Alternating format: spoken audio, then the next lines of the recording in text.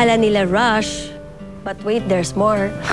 Actually, two years ago pa lang, meron ng meron ng folder si Jolina sa computer. Oo nga, nalaman na lang niya nito na lang. Ng mga pegs ng mga photos na gusto niyang if ever mag doon sa wedding namin, yun yung design ng invitation. Diba? Kunyari pa ako, hindi ako nag-expect.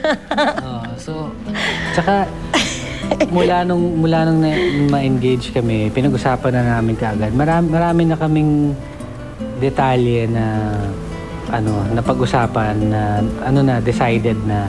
So by the time na kumuha kami ng nagpatulong kami kay Chinky yung wedding planner namin.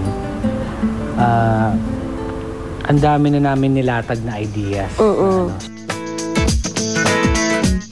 Friends, meet our wedding planner.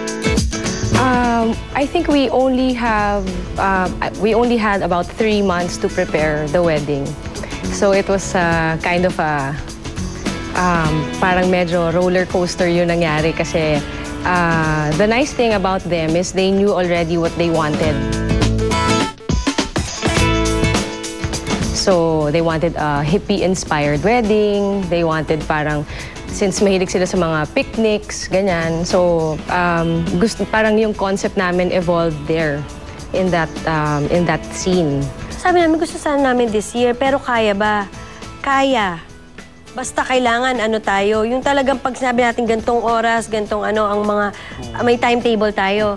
Tapos, ang ano namin ni Mark, sige, pag umokay ng November 21, yung gusto naming place, yung gusto, yung, yung venue, yung, yung date, yung kung sino mga involved, pati ang Mango Red, pati si Bob, kung okay sila ng mga time na yun, go. Ito na to. This is gusto it. Na, gusto namin this year, pero ayaw namin ng December kasi masyadong busy ang December.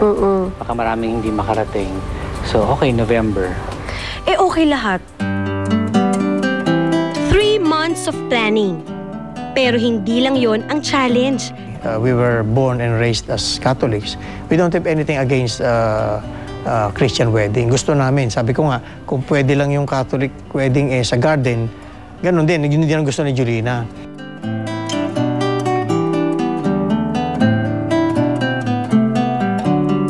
So, Saturday yung church wedding sa sa Midlands.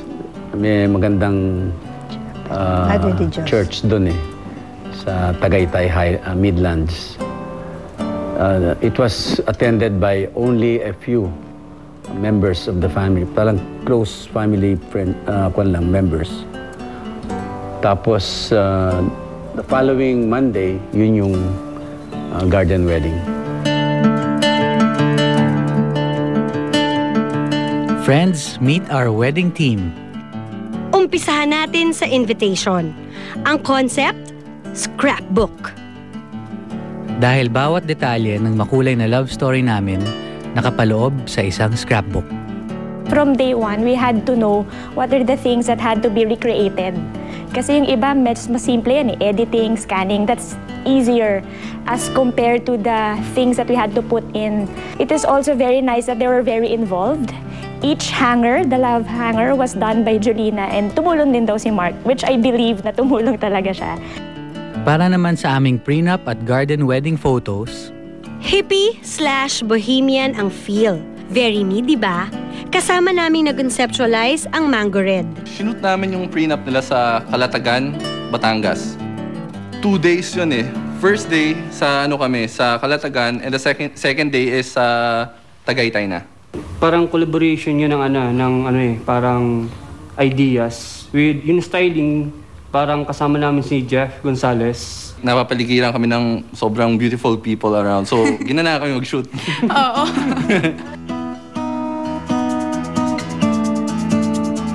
Of course, sa ganitong okasyon, importanteng element ang flowers.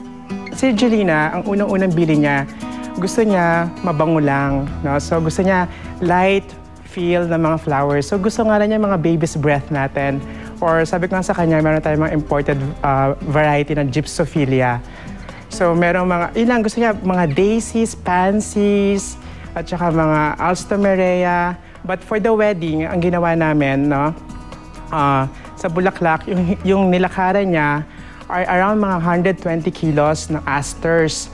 O yung mga normally na hindi natin pinapansin na asters. But ginawa ko siya in such a way na in volume para pag, naglalakad siya, parang feeling niya nasa ulap siya. Tapos yung bouquet na ginawa ko sa kanya are also made of gypso, ah, ng mga gypsophilia at stephanotis. Ang lahat ng detalye at importanteng pangyayari, binigyan ng espesyal na treatment sa lente ni na Bob Nicolas at Dino Lara. yung church wedding pati yung ano yung yung garden wedding. Ah, normally kasi may mga scenes na dinidirect namin.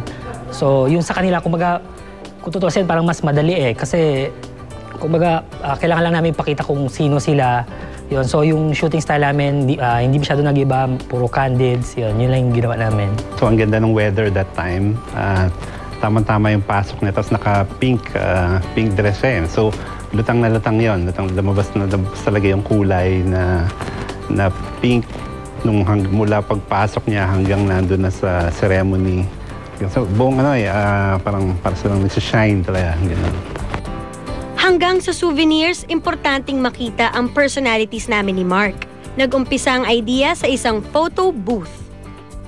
Skitbooks is uh, ano siya, bali parang ano siya, uh, booth siya na uh, magte-take ng 7 second video tapos uh, ipiprint namin as flipbook. Ang gusto kasi ni Mark and Jolina, parang fireworks yung uh, Background. background. Yung mga guests, uh, nag-act out sila, skits, nagda-dance, na yung may mga props na gitara, sa iba nag-rock. Uh, in a minute, makukuha nila yung booklet na ano, souvenir. Sa church wedding, ako mismo ang in charge sa aking look. From head to foot. For the garden wedding, in charge sa makeup ang longtime friend kong si Mickey C. Yung ano, yung wedding makeup ko for Jelena, um, sinabi ko na sa kanya yun na bago ko gawin yung makeup, gusto ko ulitin yung una kong makeup na ginawa sa kanya. Nung first time na nag-meet kami, parang feeling ko yun yung pinaka, nakuha ko yung loob niya nung ginawa ko yung makeup na yun. So I think that's a special ano, makeup technique. So pumayag naman siya kasi parang, parang fresh lang yun eh. Tedious na proseso talaga ang pagpapakasal. Pero ang gawin pa itong sikreto sa publiko na nakalakihan ko, yon ang mas mahirap. Kahit pa suportado ako ng pamilya ko. I, I would admit na maraming sumama ang loob sa amin. Siyempre, ang ano doon, eh, we have to respect uh, the couple's decision. Buhay na nila yan eh.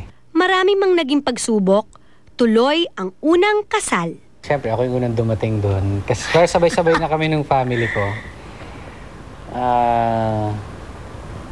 habang hinihintay siya, doon pa lang naiiyak na ako. Akala ko hindi. Kasi hindi, hindi naman sa... Hindi, hindi pa yun yung moment na nakakaiyak eh. Pag-park namin doon sa tapat ng church, at medyo, meron pa akong 30 minutes na naghintay doon eh. Minom akong tubig. Pa rin nawawala yung hilo ko, tsaka yung sikip ng din, ganito ko, tsaka nalalamig yung paa ko. Tsaka parang, hindi ko nararamdaman yung paa ko. Parang feeling ko matatapilok ako talaga. Sabi ko, ano ba tong feeling na ito? Tapos nung malapit na ako pumasok, sabi ko, pwede bang magwiwi muna? Kasi hindi ko talaga maintindihan yung feeling. Mark, do you give yourself to her as her husband? Yes, I do. Julina, do you give yourself to him as his wife? Yes, Father. Prime time na mala